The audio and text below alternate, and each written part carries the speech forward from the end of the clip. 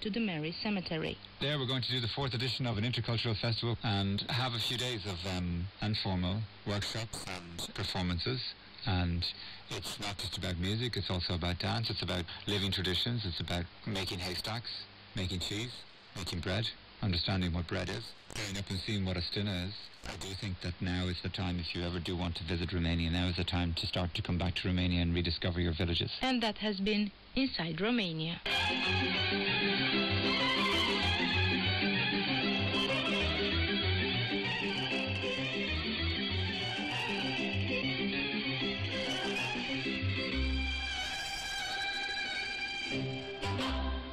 You are listening to Radio Romania International, broadcasting from Bucharest.